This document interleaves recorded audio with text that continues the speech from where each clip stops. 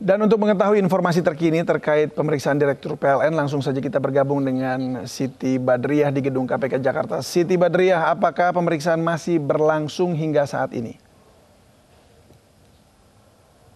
Ya David, hingga siang hari ini pemeriksaan terhadap sejumlah saksi dalam kasus dugaan suap PLTU Riau 1, yaitu uh, Direktur Utama dari PT PLN, yaitu Sofian Basir hingga siang hari ini masih terus berlangsung di gedung Komisi Pemberantasan Korupsi Jakarta.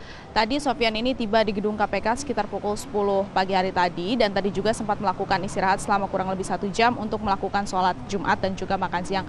Ini artinya pemeriksaan dari uh, Direktur Utama PLN yaitu Sofian Basir ini sudah berlangsung selama kurang lebih tiga jam oleh penyidik Komisi Pemberantasan Korupsi Jakarta. Pada pemeriksaan perdana terhadap Direktur Utama PLN ini, KPK lebih banyak menggali soal peran dari PLN dalam skema konsorsium dari proyek tersebut. Karena diketahui memang dua anak perusahaan dari PLN yang dalam hal ini adalah PT PJB Investasi dan juga PT PLN Batubara yang mengapalai konsorsium tersebut dan juga ada tiga perusahaan lainnya yang merupakan perusahaan swasta. Dalam hal ini adalah PT Black Gold, kemudian PT Samantaka dan juga PT CHCE. Dan KPK juga terus menggali terkait dengan penunjukan langsung yang diduga dilakukan PLN terhadap konsorsium atas nama Black Gold tersebut. Sementara itu David, jika kita melihat hal yang banyak digali oleh penyidik dari saksi kemarin yaitu Idus Marham terkait dengan uh, hubungan ataupun pertemuan dan juga aliran dana, ini tidak menutup kemungkinan pada hari ini KPK pun akan terus menggali ke kesaksian terkait dengan hal tersebut.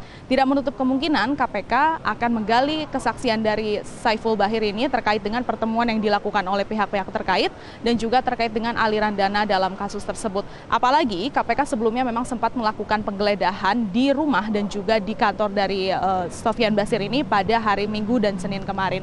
Dan selain itu, David, pada kasus ini KPK juga masih akan terus menggali kesaksian dari pihak-pihak lain karena dalam hal ini KPK menggunakan pasal 55 e, Undang-Undang Hukum Pidana yang mana di dalam pasal tersebut disebutkan tindak pidana korupsi ini tidak dilakukan perseorangan melainkan dilakukan secara bersama-sama. Sehingga dalam hal ini KPK masih akan terus mengurai hubungan antara satu pihak dan pihak lainnya dan juga terus menggali keterkaitan pihak lain dalam kasus suap tersebut.